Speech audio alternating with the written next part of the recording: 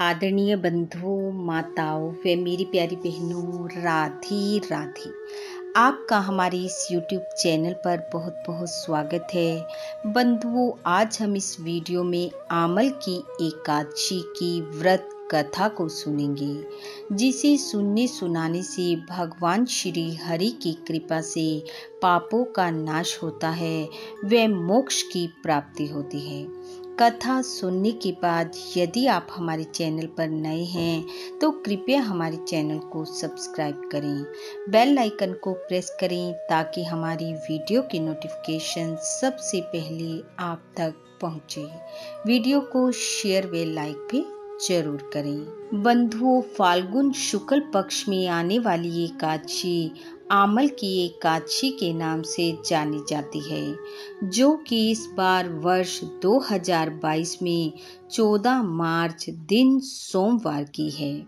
यानी कि आज, पापों का नाश करने वाली, स्वर्ग व मोक्ष को देने वाली, राज सुख प्रदान करने वाली आमल की एकादशी का व्रत मनुष्य को अवश्य धारण करना चाहिए। इस दिन व्रती स्नान आदि क्रियाओं से निवृत्त हो, स्वच्छ वस्त्र धारण कर भगवान श्री हरि व माँ लक्ष्मी की पूर्ण श्रद्धा भाव से पूजा कर व्रत कथा को सुने। धूप दीप से आरती कर मिष्ठान का भोग लगाए।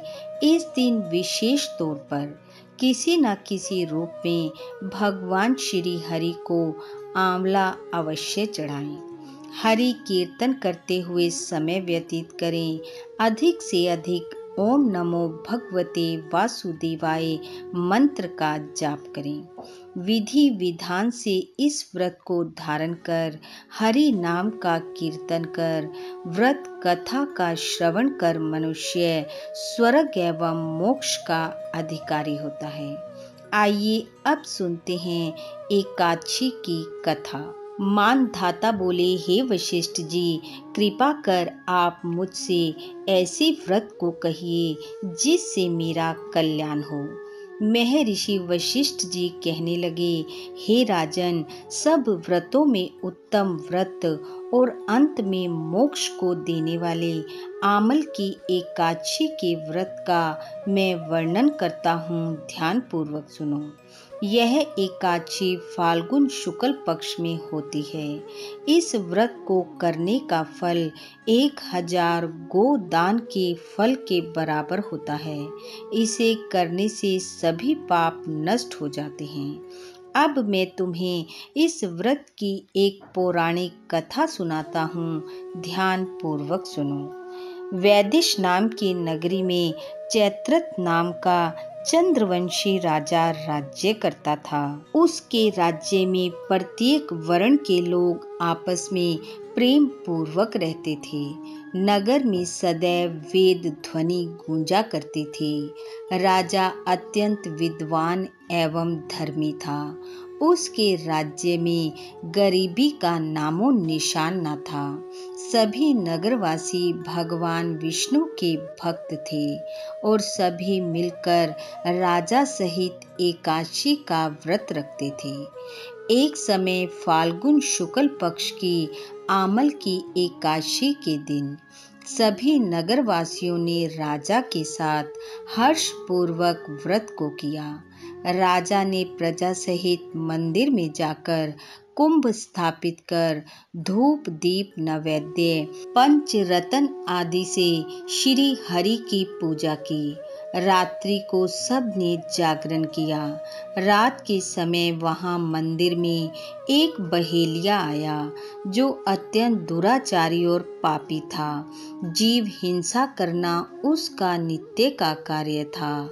वह बहेलिया उस समय भूख प्यास से व्याकुल था। परंतु रात्रि के समय मंदिर में होते हुए जागरण को देखकर वह वहीं बैठ गया और उसने पूरी रात वहीं पर हरि जागरण व हरि कथा सुनते हुए बिताई। प्रातः काल होने पर जब सब लोग अपने घर चले गए तो वह भी अपने घर आ गया। घर आकर उसने भोजन किया।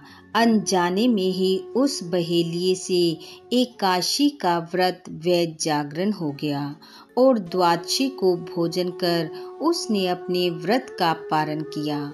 कुछ समय बाद बहेलिए की मृत्यु हो गई, लेकिन एकाशी व्रत के प्रभाव से उसने अगले जन्म में राजा विदुरथ के घर जन्म लिया।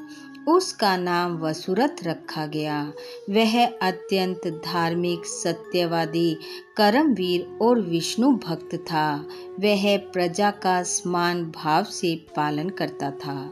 दान देना उसका नित्य का कार्य था। एक दिन राजा वसुरथ शिकार खेलने वन को गया और मार्ग भटक गया।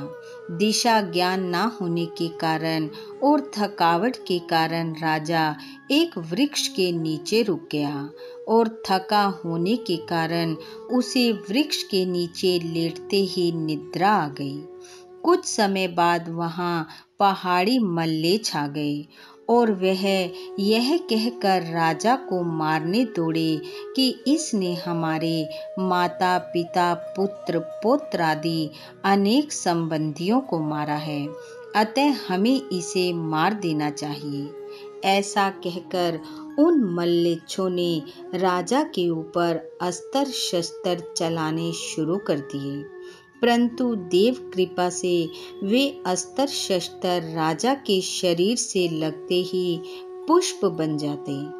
और अब उनके अस्त्र शस्त्र वापिस उन पर ही प्रहार करने लगे। उसी समय राजा के शरीर से एक दिव्य स्त्री प्रकट हुई। वह स्त्री अत्यंत सुंदर होते हुए भी उसकी भुएँ चढ़ी हुई थी। आँखों से अग्नि बरस रही थी। काल के समान वह स्त्री उन मल्लेच्छों पर टूट पड़ी और शीघ्र ही वे सब काल के गाल में पहुँच गए।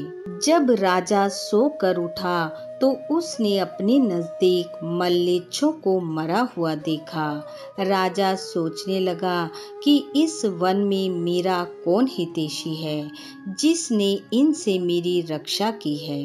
राजा ऐसा सोच ही रहा था कि तभी आकाशवाणी हुई कि हे राजा, इस संसार में भगवान विष्णु के सिवा कौन किसी की सहायता कर सकता है? इस आकाशवाणी को सुनकर राजा भगवान विष्णु को प्रणाम करता हुआ अपने राज्य में आ गया और सुखपूर्वक राज्य करने लगा। महर्षि वशिष्ठ बोले कि, हे राजन, यह आमल की एकाशी के व्रत का ही प्रभाव था। इसलिए जो मनुष्य इस आमल की एकादशी का व्रत करते हैं, इसकी पवित्र कथा का श्रवण करते हैं वह प्रत्येक कार्य में सफल होते हैं, पापों से मुक्ति पाते हैं और इस लोक के सुखों को भोगते हुए अंत में विष्णु लोक को जाते हैं। बोलो, विष्णु भगवान की जय। बंधु भगवान श्री हरि की कृपा, आप व आपके परिवार पर सदैव बनी रहे। आपका घर आँगन खुशियों से महकता रहे।